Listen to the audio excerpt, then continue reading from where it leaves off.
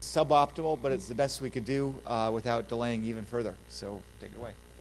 Thank you so much. I, uh, I really appreciate uh, Hope in uh, inviting us to uh, talk with you. And again, I, I apologize for the primitive display uh, option that we're left with. But if you can um, just deal with that, let's begin. Okay, this is my partner in crime, Peter Leung. He uh, runs uh, the cryptomail.org uh, organizational aspect of it. I'm more or less the technical lead. Okay, it's Saturday morning, 9 a.m., and look at all the technical difficulties we have. Did you guys sleep? I didn't. Uh, thanks for being here, okay, because uh, it takes a, an extended effort uh, to get up this early. Okay. Okay, we're going to talk about some of the problems that CryptoMail tries to solve, some of our missions and objectives. We're gonna, we can't go through a program demonstration, unfortunately, because things are just uh, simply AFU. Um, we can go through some of the algorithms and protocols that we use. And we can go over some of the client and server platforms we are using. And we can go uh, and talk about the future directions. And we can go into question and answer after that. Okay, thank you. Okay, why is crypt why is encrypted email important? Well, it protects your privacy and your assets. Uh, it's pretty cool.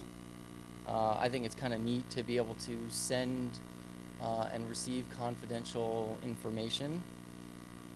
Uh, it's free speech. You have every right uh, to do so, to use uh, encryption in your communications with other people.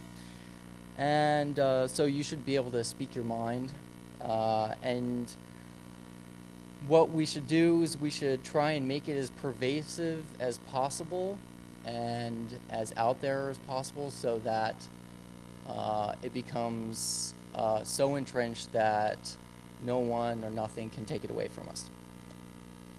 Okay, so how do we get people to use encrypted email? Uh, I call this the grandma problem. How do you get your grandma to communicate with you securely? Um, it's kind of hard. You know, the programs that are out there are, you know, they're, they require, you know, a high level of, uh, of geekdom in order to get them up and running securely, too.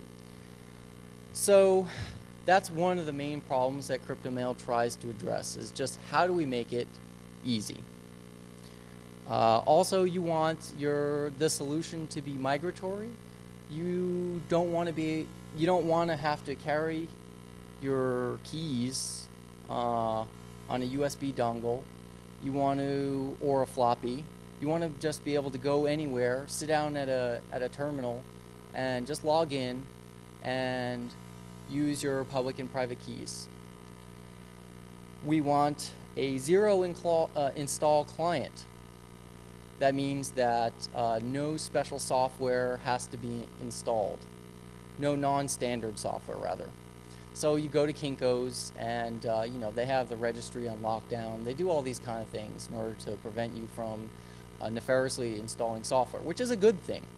Uh, but with a web browser, you should be able to log in and use encrypted email. We want the platform to be open we want it to be open source. We don't. Uh, we want to be, you know, have a ubiquitous uh, user experience. When you use the program, it should look like mail. It shouldn't look like an XML editor. Uh, we want the transparency. Open source gives you that. When you disclose the source at the client and the server, uh, it becomes uh, no question as to what the program is doing. Okay, what here this is uh, tying into some of the problems that we're trying to solve. What's the threat model? Okay. We're always going to assume eve is around. She's always listening to our traffic. Okay that's just a given. And we're also going to assume that mallory is kind of there mallory has your system or can get your system so the threat model says or tries to address can we build a system such that the user's private keys and messages are not immediately compromised with a zero install client? And can the transport be locked down such that Eve only hears basically line noise or encryption? Okay, so again, our mission is to promote the private communications, and again, the technical objective is to answer the threat model questions. So we want security at the transport layer and end-to-end message en- uh, encryption, and we don't want to disclose any private key information to any agent other than the user themselves. Okay, so the demonstration is kind of borked. But if you guys want, you can go to www.cryptomail.org to have a full demonstration of this functionality.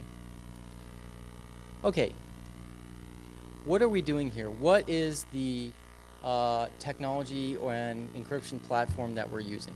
We're using Elgamal 1024 and uh, I have a note here that says RSA is good, but at the time when I was writing this in uh, 99, early 2000, RSA was still encumbered, so I couldn't use it. Although technically I could have started using it and then all of a sudden the patent expires and then um, everything would be hunky-dory. But things as, the, as they were, I released it as is with El Gamal. GPG uses El Gamal as well as a default uh, ASIM. The symmetric cipher. For symmetric ciphers, we use Blowfish. It's a great unencumbered public domain cipher. Really strong, 128-bit. It's good stuff. The protocols. We have Secure XML Message Access Protocol, SexMap, and XMAP. XMAP is something like IMAP, but in XML. I didn't, uh, when I was writing this, I didn't, I didn't want to incorporate IMAP because um, I thought it was a pain. Okay, so the protocols can all be found on our website at cryptomail.org, and you can go through the documentation and look through the protocol specifications. But what this talk is going to be mostly about is trying to show how we lock down the user's private keys and secures the session. So how we can prevent malware from gaining any salient information about your private keys and how we lock down the transport session. Now, CryptoMail, as it stands, is a Java applet, okay? And at the time, there was no SSL capabilities embedded in the VMs. So you couldn't do HTTPS without uh, incorporating, incorporating your own vertically independent libraries. And so that could get kind of big, it can get kind of floppy because I'm not going to sit there and write, you know, my own uh, SSL layer. I'm going to use someone else's because that's pretty good practice. But at the time, uh, I I was thinking of a way to try and avoid having to use SSL entirely. So the next uh, couple minutes will be focused on how we use normal HTTP with a applet that is served uh, via HTTPS, how we're going to lock down the session. So okay, when you first start out in CryptoMail, you're presented with a login form. And you just type in your username. And that gets submitted through HTTPS. So assume that uh, you, you submit that securely and you post it via HTTPS. Then the server generates a 16 byte session key. That's just your session uh, that, um, I'm sorry, it, it generates a 16 byte session encryption key. Okay, this is used to encrypt the session between the client and the server. Then the server generates a 16 byte session token. Okay, this is the session client server identifier. Then the server generates a 16 byte session cloak token. Okay, this is going to be a little challenge. and the server generates a 16 byte random blowfish cloak key. Okay, that's used to encrypt the challenge and put in HTTP headers. Okay, so the server passes the client, uh, passes the applet, all those things. It passes the session token, which represents the applet session with the server. It passes the encryption key, okay, how the client and server are going to encrypt the the um, the traffic uh, with 128 blowfish. It passes the cloak token, which is basically this to- this this token challenge, and a session uh, cloak encryption key. Now the applet reads up the parameters, and in theory, because the, the, the form was submitted securely, in theory, the only one who knows about this parameterization is the client and the server. Okay, so whenever the applet wants to communicate with the server, okay, the applet blowfish encrypts the session cloak token with the cloak token key. This effectively authenticates the client at the HTTP layer. So it's a quick acid test to verify that only the single client and the server uh, are talking. So the applet constructs all this information and sticks it in the header. It encrypts it, it encrypts the blowfish encrypted session token, and the server looks up the token, and if it can't find it, it's an error. Then the server compares the cloak tokens, and if they're the same, if they're not the same, then abort. Okay, so again, why do all this? Why tunnel? Why effectively try and do HTTPS over HTTP? Again, it's because there weren't any SSL faculties at the time to communicate uh, with within the Java VM and the server. Also, when uh, if there are libraries, you have to uh, you have to um, make the uh, the server and client uh, use authenticated certificates. So so I didn't have any money at the time. Okay. Are there any questions about the SSI, Secure Session Initialization? Yes, sir. Okay, well, the applet is parameterized through SSL.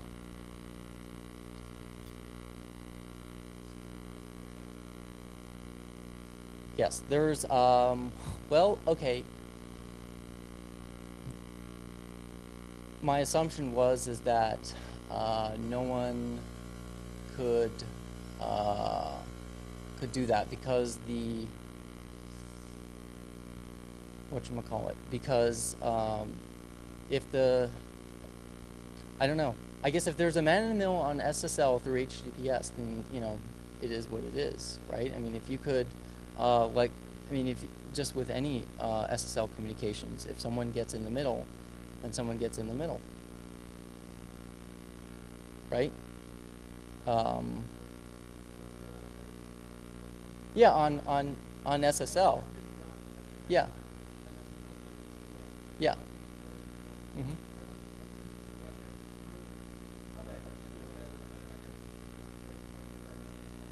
Yeah. Yeah.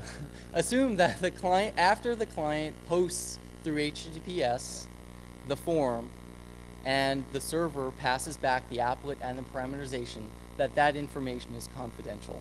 Okay, we'll have to assume that. Everyone does. Uh, you know, uh, we were probably wrong. Someone out there knows how to do it. Probably. Yes.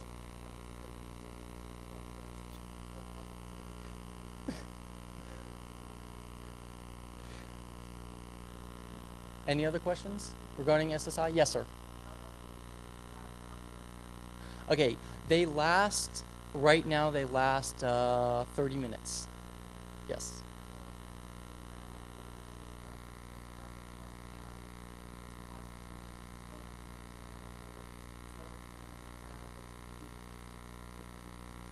Okay, if, if, uh, if she closes the, uh, you're saying uh, if she closes the navigator window.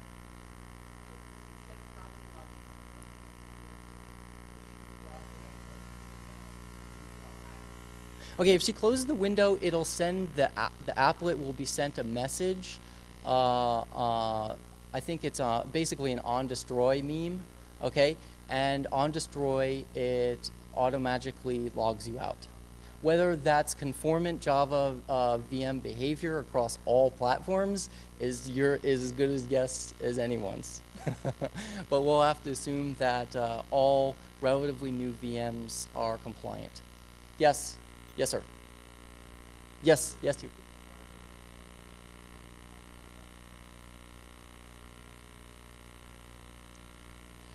What? Excuse me? Oh, okay. It's in the Java VM. So when the Java VM goes poof, um, basically, if the Java VM cleans up uh, its memory, then everything should be fine. I'm sorry, I, I will have to defer all responsibility, uh, you know, uh, you know, for the behavior of, of, of, of VMs. I, you know, that's it's one of the toughest things. Um, it's it's it's really hard because all the software is laid on top of each other. So if the VM doesn't clean up after you close it, and you can go in there and take a peek at it, that's a distinct possibility. But yet that's the reality we live with other uh, other systems. While in memory, no. Um, it's it's all in the VM. Yes, that's a, that that is a possibility, but I, I do not make that effort. We're going to assume that the uh, client machine that uh, that grandma is using is uh, exactly not loaded with spyware. It's a really big assumption these days. Okay, and uh, it's not it's not uh, it's not a huge reality, but you know uh, we're gonna we're just gonna assume that there's uh, nothing terribly malicious against uh, against against CryptoMail, but it's entirely possible. Okay, so let's let's talk about the threat model. Let's get back to the threat model. You know, the SSI. Okay, so we've got, you know, we we've tunneled HTTPS. We did all this work just to freaking, you know, get away from paying certs and incorporating this huge 256k vertically independent SSL library that's going to be really slow because it's written in Java. okay, generally, you know, you know, software crypto with Java, I mean, that's like two strikes against you already. Okay, it's bad enough, you know, just doing software crypto. You're going to really burn some cycles. Okay. Okay, the threat model. Um, basically, let's talk about Mallory. Okay, what, at the end of this, we should show that Mallory, while he may pinch me, okay, is going to have a little bit of hard time. You know, with today's hardware, the current implementation in terms of size, I'll be uh, a little bit uh, direct with you. The current implementation in terms of key size is um, on a particular user uh, focus is not terribly strong, but neither are passphrases in general. So if you do, if you read the passphrase back, it says basically passphrases are, you know, it, they're basically useless because the domain, the search domain is um, for you know basically today's hardware is is uh, is pretty small. In any event, uh, we're gonna we're gonna try and go over the threat model and show you that Mallory might have a little bit of a difficult time. So creating an account. Basically, the applet creates uh, a public and private key pair, and the user chooses a passphrase, and the applet CBC Blowfish encrypts the private key with the passphrase. So you have your the entirety of your passphrase encrypted with the, uh, uh, I'm sorry, you have the private key encrypted with the entirety of the passphrase. Then the applet saves half the hash of the passphrase. Okay? So you've got your encrypted private key, and you've got half the hash of the passphrase. Now the applet basically constructs a little MAC at the end of the encrypted private key blob, uh, blob just to make sure, you know, for later use to authenticate that um, the private key information hasn't changed. So we got half the hash of the passphrase, the encrypted private key encrypted with the entirety of the passphrase, and we've got the little MAC. Now the applet sends the message, new account, with the public key, the encrypted private key, that's encrypted with the entirety of the passphrase, half the hash of the passphrase, and the encrypted hash of the passphrase. So basically, it goes through SSI before it, it sends that, and it just sends the new account. And then, uh, does anyone remember the web lore from Mahir? That uh, what was it, Tur- Turkish guy or something? I don't know. He was like, uh, he wrote he wrote this cheesy GeoCities uh, web page, and it said, "I kiss you." You don't remember that? Welcome to my site. I kiss you. Okay. Well, this was uh, around that time, and I was uh, making this protocol, so this is an ode to him. It was it made the it made Wired and all this other stuff. Okay. So so what do we have on the server? We've got the encrypted private key, encrypted with the entirety of the passphrase. We've got the public key. Okay, everyone can have uh, each other's public keys without any problem, right? I'll assume that. Um, and we've got the the MAC of the private key. Now, what happens when you try to log in? Okay, so the client wants its private key information, right? It wants to send and receive end-to-end encrypted messages. So basically what happens is the applet requests a passphrase. Then the applet SHA-1s and saves half of those bits. Okay? And then it logs in with half the hash of the passphrase. So basically, you know, we set up all the HTTP uh, HTTP headers for SSI, Secure Session Initialization, and the applet sends the, the payload. Then the server compares half the hash of the passphrase. And if it's if it's successful, it sends the encrypted private key and the encrypted hash of the private key. So half the hash of the of the passphrase is stored uh, encrypted again, basically as a password. Okay. So then the applet uh, basically decrypts the private key and, and then it authenticates the MAC. And if the decrypted hash don't match up, doesn't match up, then it's Splitsville. So at this point, what does the server know? The server knows at most half the hash of your passphrase. Okay? So the server maintains a high level of security of the user's identity without compromising the private key. Okay, so going back to the threat model, Mallory who may control the server only knows half the hash of the passphrase, not its entirety. Okay. Any questions about that? Yes, sir. It's I think it's the first half. Yes. Yes, absolutely. See, that was uh that would that would be a concern if it took a random number of of of, of bytes the first time or you know or the second time, then someone uh, listening passively could determine the entirety, you know, could get the whole hash of, the, of, of it. And so that's, that's certainly not good. Uh, you don't want to disclose uh, any more information than you have to.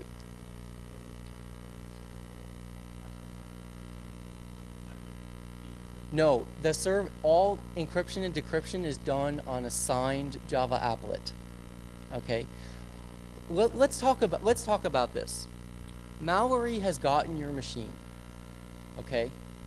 What does he know? He's borked your server and he has got he's got half the hash of your passphrase. And that's it. What can he do? Can he change the signed applet? Can he change the behavior of the signed applet?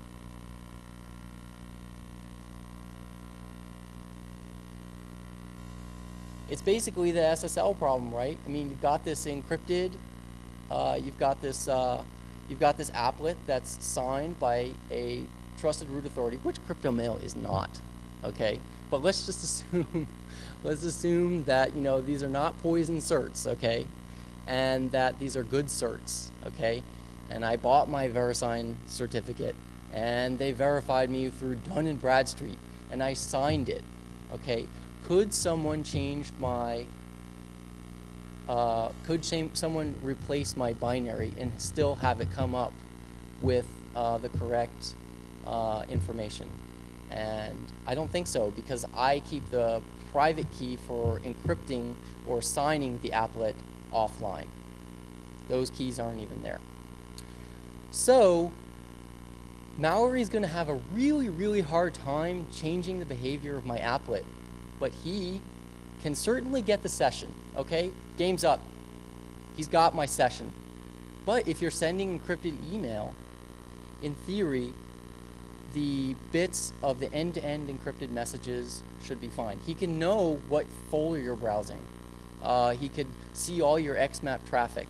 But if the contents of the message are encrypted through end-to-end message encryption, provided the applet is not poisoned, and I purport that it probably won't be because it's supposed to be signed, and so he can't change it. That uh, that the message contents going end to end are going to be relatively uh, locked down. Yes, sir.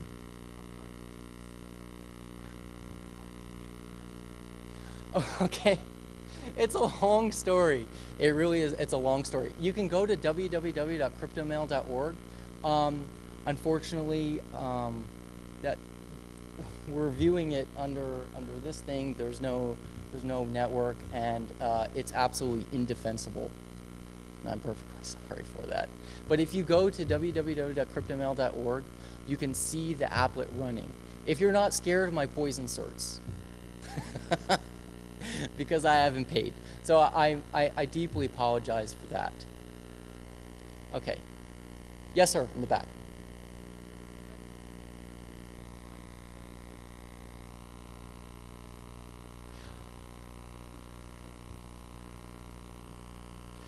That that's um, that that is an attack. Yes, yes.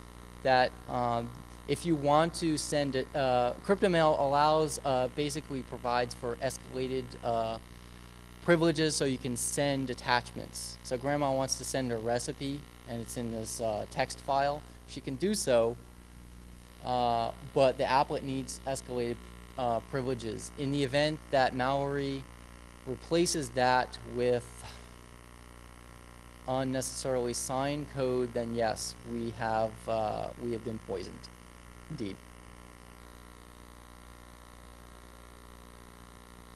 Okay. Uh, okay, so XMAP, XML Message Access Protocol, you know, it's just a it's just a my silly substitute for IMAP. Um, it's nice XML. You know, James Clark wrote a great XML parser, Expat.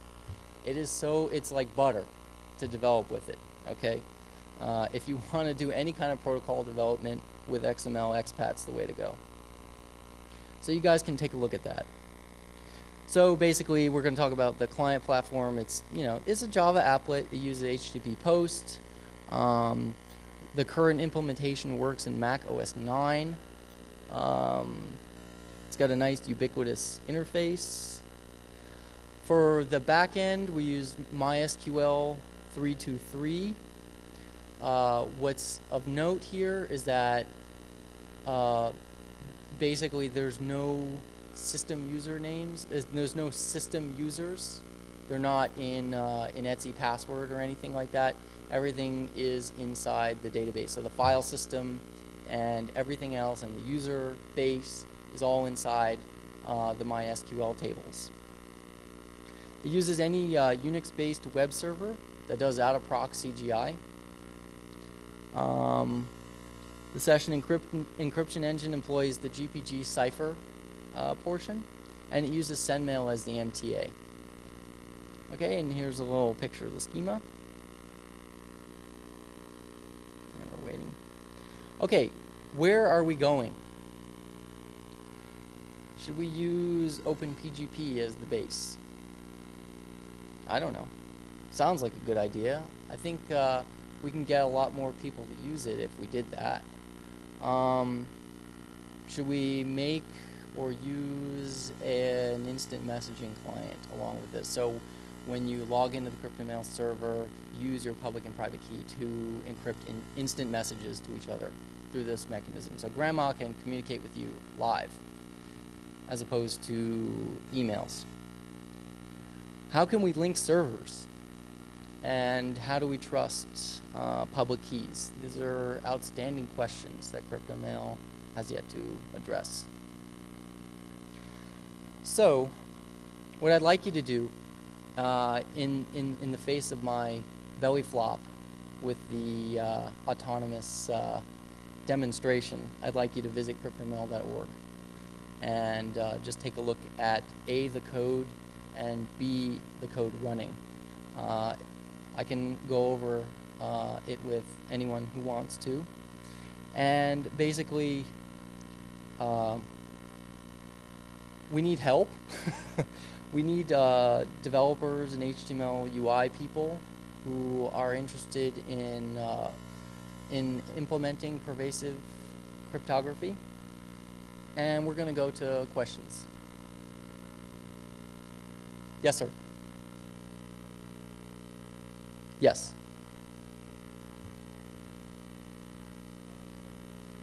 Yes. Well, I don't know really. Yeah, I mean, um, you know, th- I, the reason why I chose El Gamal is simply because it was unencumbered. Okay? Yeah, at the time I was writing it, uh, basically RSA was uh, had a patent out on it at the exact time I was writing it. Now, had I waited three months before deployment, sure, uh, I could have used RSA without any kind of encumberment whatsoever because the patent expired. But if we look at what other people are doing, um, GPG uses Elgamal as a default, so I would say, you know, it's pretty good. It's good stuff. Yes, sir.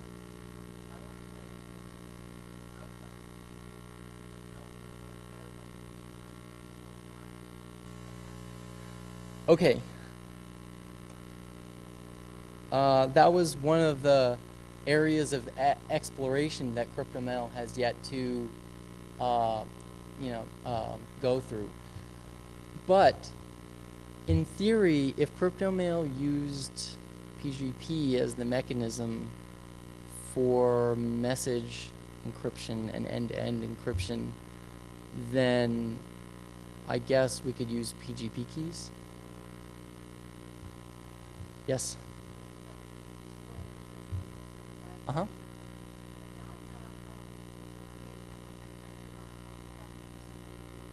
huh.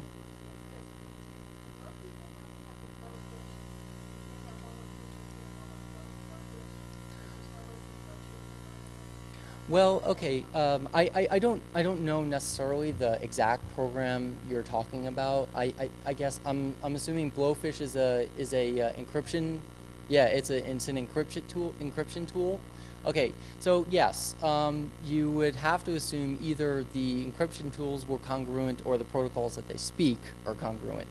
Um, if they're not, uh, you're certainly going to have uh, problems. Now, PGP is a specification, so if you encrypt things uh, to the same specification, in theory, uh, one uh, should be able to communicate with each other. But PGP is generally very good at it. If you use PGP, another PGP program will probably be able to encrypt and decrypt.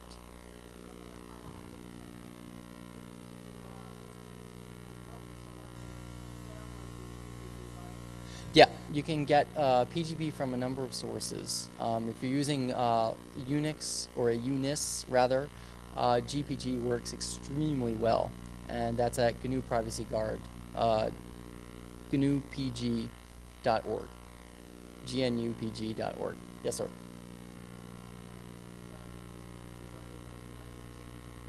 Yes.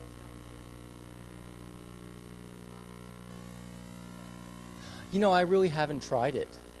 Um, maybe I can get some data points. I would like to try it. Uh, that that's a very interesting, interesting question. But yeah, adding anonymity to the picture is certainly uh, something of value. Yes. Uh, yes, sir. Key revocations. Um, basically, I don't. Right now, cryptomail.org does not, uh, in its current uh, format, does not support that. Yes, sir. Uh, yes.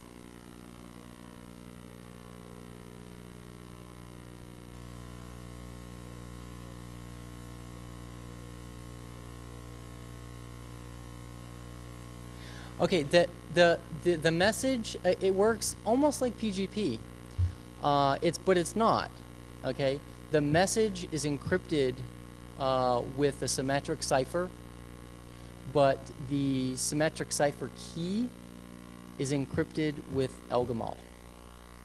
So it works kind of like PGP. I mean, uh, it, it would be very uh, foolish of me to uh, encrypt the whole message with uh, asymmetric cipher. So we use a symmetric cipher for the message contents, the message key. We use asymmetric encryption.